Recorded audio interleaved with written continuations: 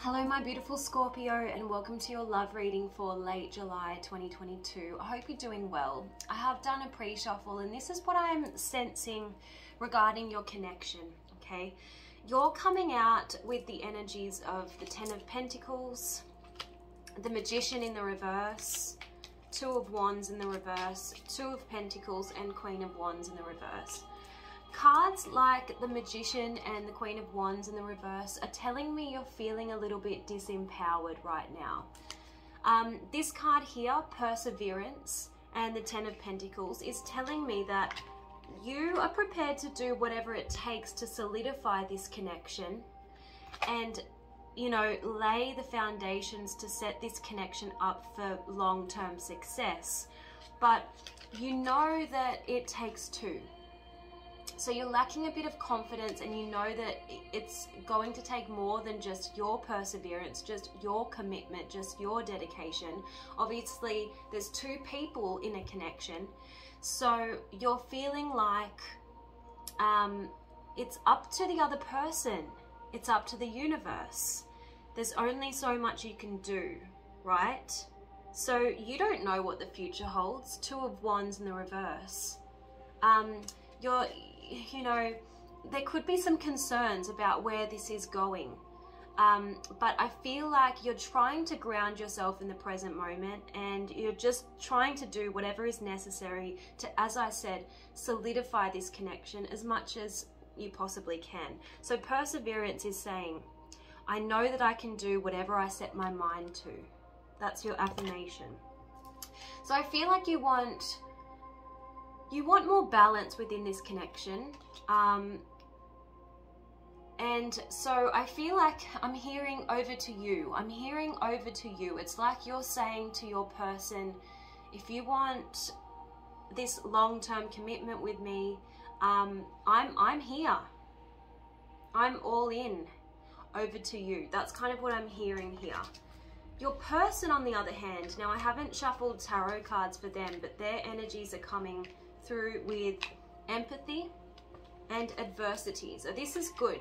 This is telling me that this person is trying their best to understand where your fears and anxieties are coming from, what your concerns are.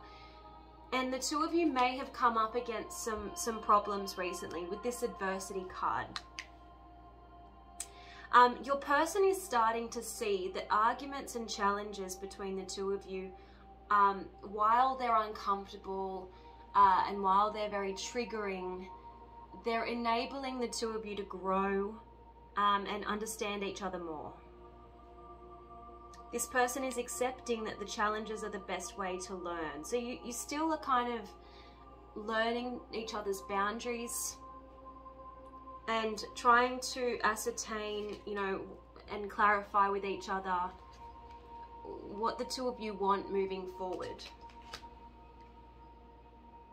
But yeah, this person is doing their best to understand you and, and Scorpio, we are very complex, very complicated, mysterious people.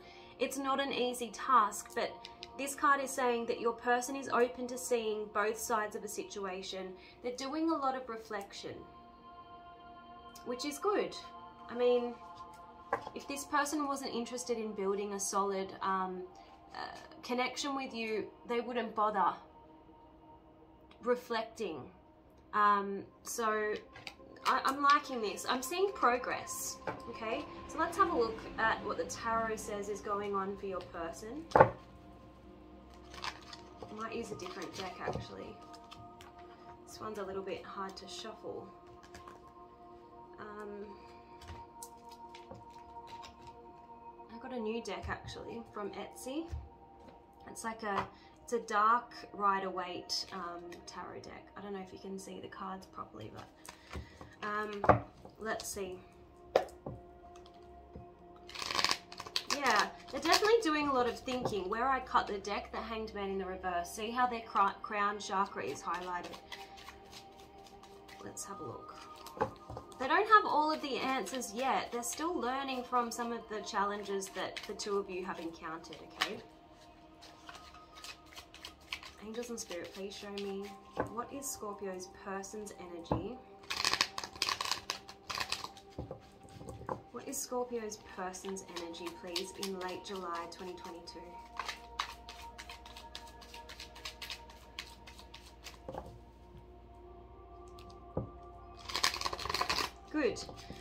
Person wants to do what's necessary. King of Wands.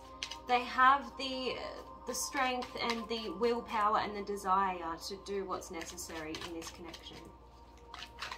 You know, the King of Wands is a card about leadership and action, judgment. Yeah. Um, if the two of you went your separate ways, um, if the two of you broke up, um, there's going to be a second chance here with the Judgment card. But again, they're using their, their judgment. They are um, judging the situation. Um,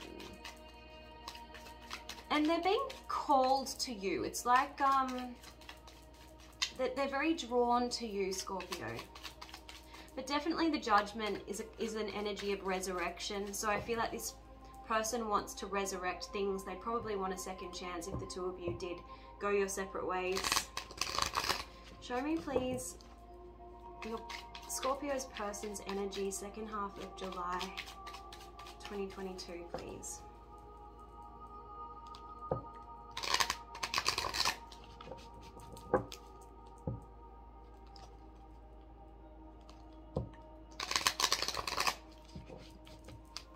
Yeah, at the bottom of the deck is the Four of Pentacles. I feel like this person wants to hold on to this connection, but also they're holding back a little bit, which is interesting.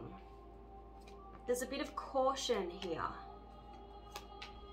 Um, I definitely feel like there's there is an element of imbalance in the connection because we saw the Two of Pentacles in the upright before and it's come out in the reverse position.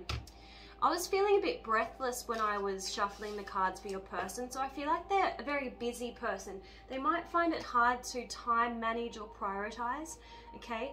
Um, we have the King of Pentacles, so I definitely feel like you can depend on this person. They say what they mean and they mean what they say. Alright, so um, they're doing their best to, to show up for you. Um, what I'm feeling is uh, some of them might um, have some fears around commitment due to um, they feel like they feel like uh, relationships restrict their freedom okay? We have the emperor in the reverse next to the two of cups in the reverse. So they feel like they're unable to make um, they're unable to make decisions about what they want to do where they want to go um, as much as they would when they were single when they're with you okay? So the the emperor in the reverse is telling me um, they feel the relationship might yeah restrict or control them in some kind of way um, when they're used to being like the executive of their life and and their schedule. Um, yeah I'm just sensing with the emperor in the reverse they feel um, like they lack autonomy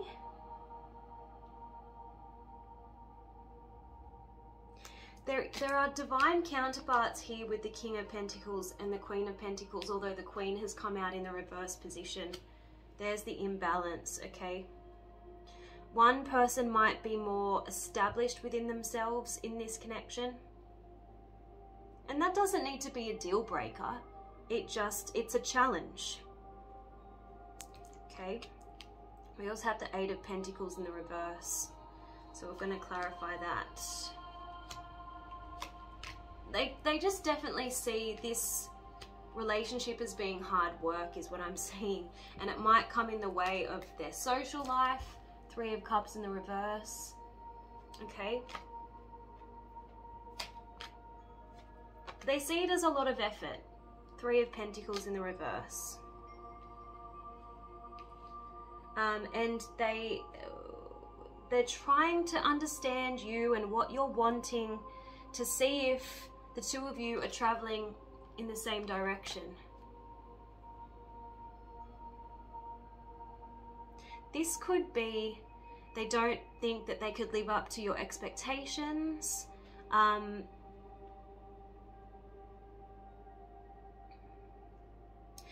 Yeah, we've got the Wounded Warrior here, the Nine of Wands. This suggests that the two of you have gone through a bit of a trying time, okay? Um, but I, I'm definitely seeing a return here. We have the Knight of Swords and the Six of Wands. So I definitely feel like this person charged back in. Um, they do want to offer you more, but I feel like they might suffer with um, fears that maybe it's not going to be enough. Um, yeah, that's what I'm getting. We have the Ten of Wands in the reverse here. They're wondering whether they can, you know, um, uh, take this on. It's going to demand a lot of their energy. It definitely feels like um, the two of you did kind of transform this relationship. Something major needed to change and I feel like it was uh, necessary um, and look we've got the ten of pentacles and the ten of cups here.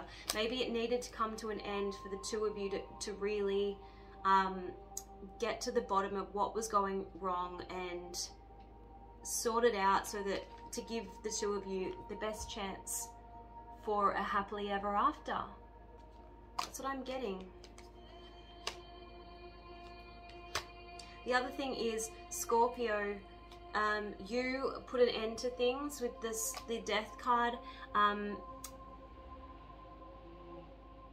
because this is what you're you're wanting. You, are not stopping at anything less than the ten of cups and the ten of pentacles. And it could have been um, kind of this person might not have been matching your efforts is what I'm getting with the three of pentacles in the reverse and the six of pentacles okay?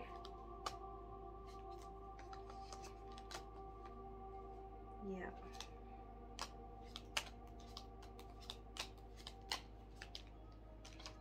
Right.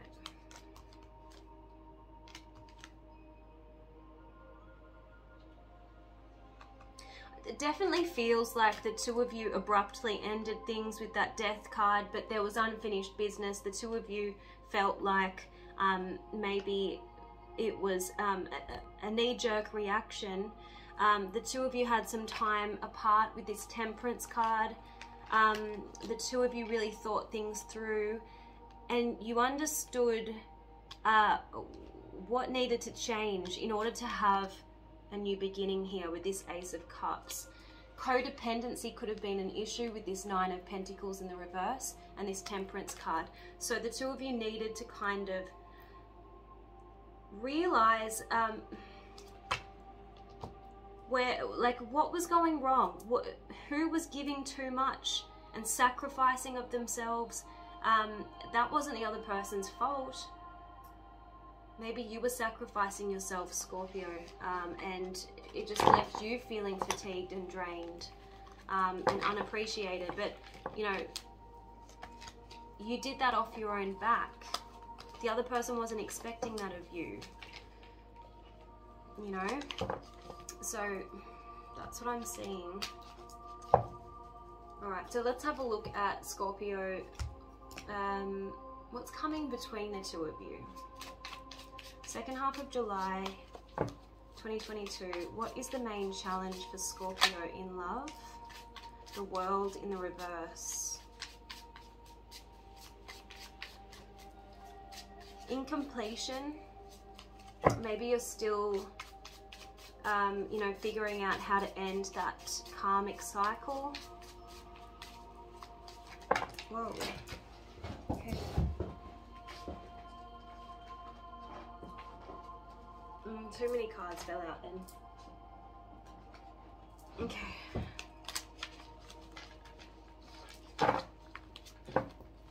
Coming in between Scorpio and their person? That was out there. It's coming in between Scorpio and their person end of July 2022?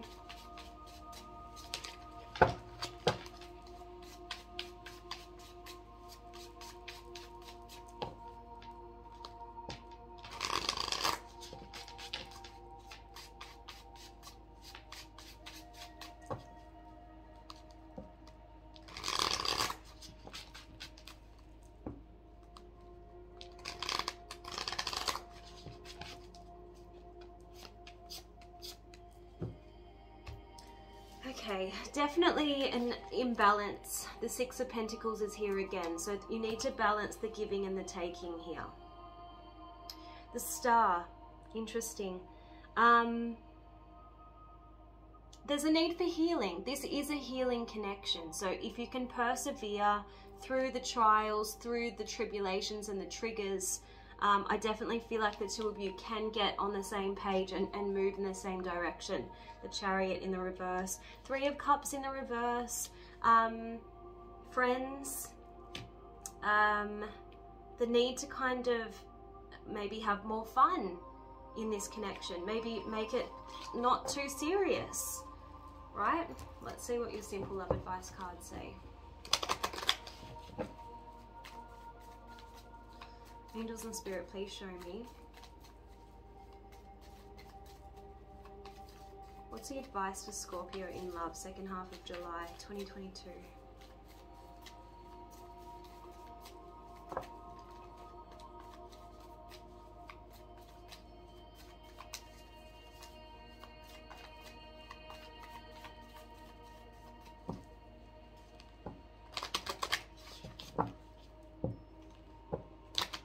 I said, why so serious?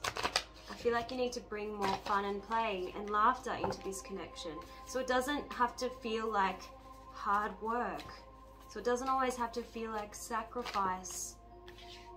Um, you've got what's yours will be yours. So, um, you know, that's the need to love someone in, in a way that makes them feel free. Don't, don't keep them on such a tight leash right? Because what's meant for you will not pass you by. I feel like Scorpio, you need to overcome your fears of, you know, this relationship uh, not going the distance. There's no guarantees in love or in life. So we kind of have to trust the divine a little bit, trust ourselves, and just see what happens. Don't sacrifice yourself too much because it will only lead to resentment and it will only lead to um, uh, feeling drained and exhausted. We sacrifice of ourselves when we feel like we're not worthy, when we feel like we're not deserving of love. We are more than enough. Just as we are, we don't need to bend over backwards to overcompensate for anything. So you need to stop giving of yourself too much you're really good at making the other person feel worthy and you're really good at feeding their self-esteem, but it's coming at your own expense. So you need to stop draining your energy. You know, conserve it a little bit for yourself and um, this relationship might come back into balance a little bit more, okay? So let's get a message from the wisdom of the oracle.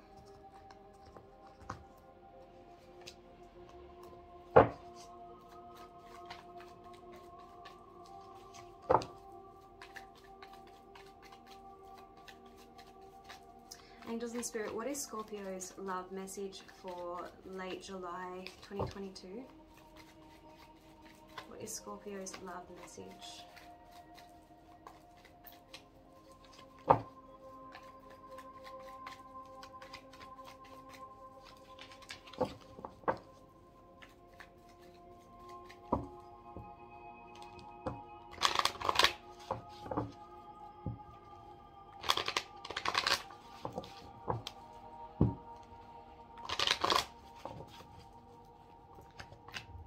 Got clean it up and you have poised. Okay, so clean it up is talking about um, the need to, um,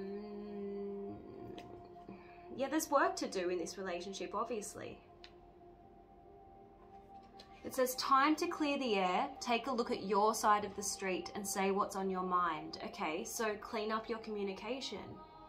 Um, Sweep away the old stuff so that a spring breeze can flow through with new energy. It's the perfect time to do an inventory of your dynamics, see what's yours and what's not yours, and clean up the relationship. Everyone brings some baggage. Sort through what you brought with you and let go of what is no longer needed. Become unencumbered and your relationship will flourish. Interesting. So it's about getting to the core of a situation, freeing yourself from a burden, and sweeping away what is no longer needed. Okay, nice. Then poised is talking about um, when you're confident and happy in your own skin, you're ready for a deeper, more intimate relationship. You have nothing to prove right now. What did I just tell you? You are worthy as you are. You don't need to bend over backwards to convince this person that you are um, good to stick with and for the long term. And, and by doing too much, that's not going to save you from ending up with someone who will inevitably leave you. You've got no control over that. So you may as well just be yourself. You are, you've got nothing to prove now. You are completely yourself and you can handle anything. Love, friendships, and harmonious new connections are all present now or are coming in.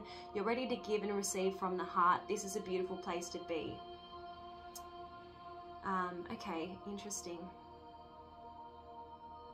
So you know what you need to do. Um, challenges have armed you with wisdom and knowledge. So um, people will be responding to your newfound confidence. Um, they will be uh, more trusting of you because you're being 100% yourself, right? So uh, this is good. I feel like progress has been made here, all right? Um, let me know if this has resonated with you in the comment section. That really helps me. Um, and I will see you guys next time. Bye.